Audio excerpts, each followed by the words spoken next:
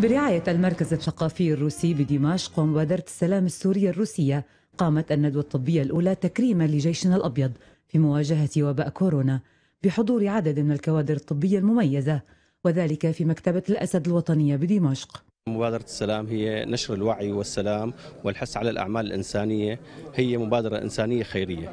آه هذه المبادرة هي من أجل الحالة المعنوية حتى يعرف مجتمعنا آه، قيمة هؤلاء وهو أصلا بيعرف لكن الحقيقة لابد من الانحناء علنا أمام هذا الجيش الأبيض الكبير جدا واللي ضحى واللي قدم شهداء من أجل إنقاذ الإنسانية. وبسوريا بالذات بهذا الظرف الصعب قدم الكثير الكثير لذلك نحن جينا لننحني أمامه. المبادرة السورية الروسية للسلام هي مبادرة آه، انطلقت بأيدي سورية وشباب سوري.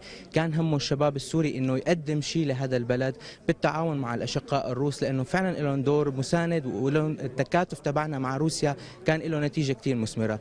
نحن عم نعمل آه، عمل تطوعي إنساني وبالنهاية هو خدمي للمجتمع في ظل ارتفاع الأجور المعاينات اليوم مثل ما بتعرف. نحن مبادرتنا اهتمينا بالناحية الصحية للمواطن.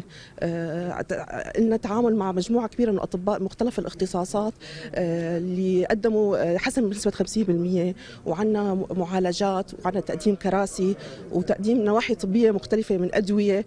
ولكافة المواطنين. إحنا فقدنا كثير من زملائنا الأطباء.